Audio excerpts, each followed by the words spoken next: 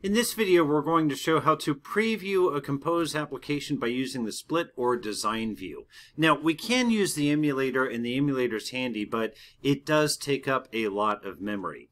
So to preview something, what we need is this at preview annotation. You see, we can actually preview both light and dark mode, which is a really good reason to use preview.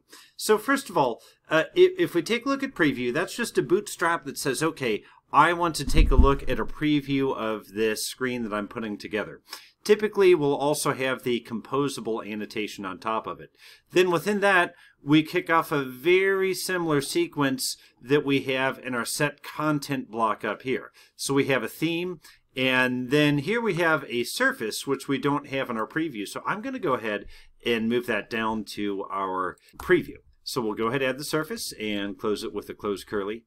Now you notice that I have this preview annotation. So on one of them, I'm going to say UI mode equals configuration dot UI mode night yes.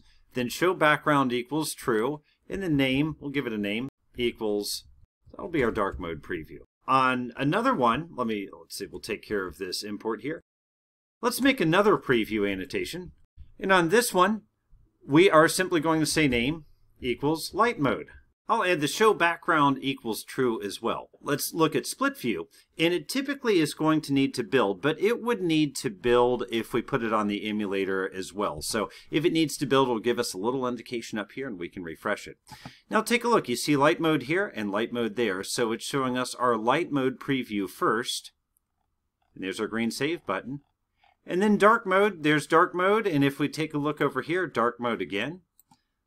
And here's our dark mode look and feel with the save button in kind of that lavender color. So notice that by having two previews, we can literally have two previews, one after another, and it's a lot quicker, consumes a lot less memory than having to load it on the emulator. Of course, it's always a good idea to load it on the emulator to get the final look and feel, but the preview pane is a good way to see our work before doing the full commitment of putting it on the emulator.